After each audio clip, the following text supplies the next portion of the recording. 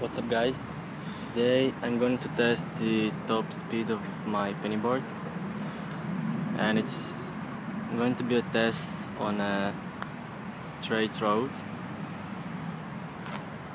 I'm using the local bicycle track which is 1.3 kilometers long. And I'm going to test what speed can the pennyboard reach if you're just a normal person and you're going on a straight road, not downhill. I'm going to measure the speed using GPS. It's accurate but it will show the speed with a 2 or 3 seconds delay. I think it will reach around 20 kilometers an hour but I've never tested it so I don't know so now you can see the speed here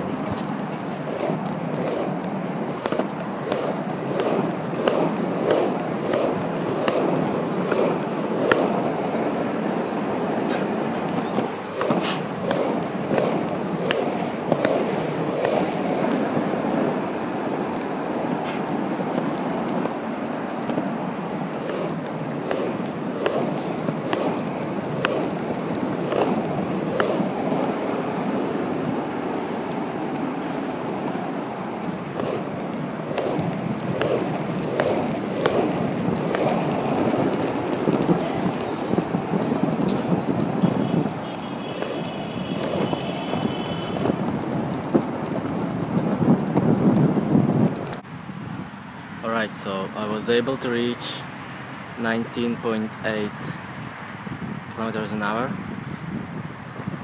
And that's basically what I expected. The average average speed was about 17 kilometers an hour.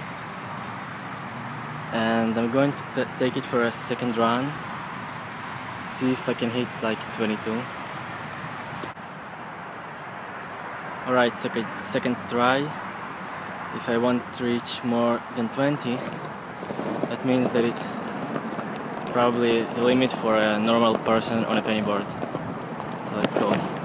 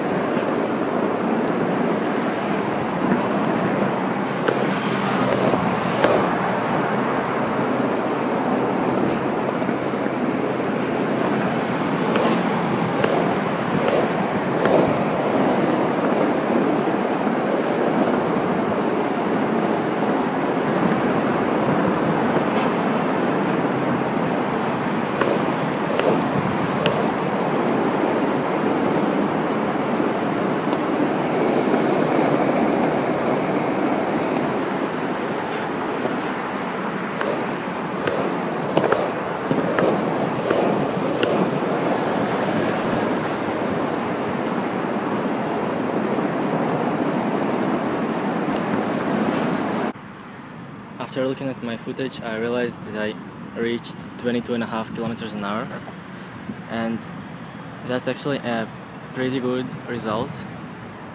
I expect I didn't expect the penny board to reach 22 and a half. And you know what's actually funny about that? Is that in Israel here uh, electric bikes are limited to 25 kilometers an hour.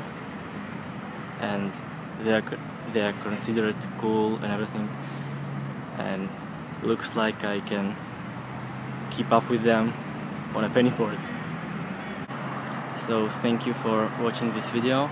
I hope it helped you. Leave a thumbs up if you liked it. Subscribe to see more tests and vlogs. And I'll see you next time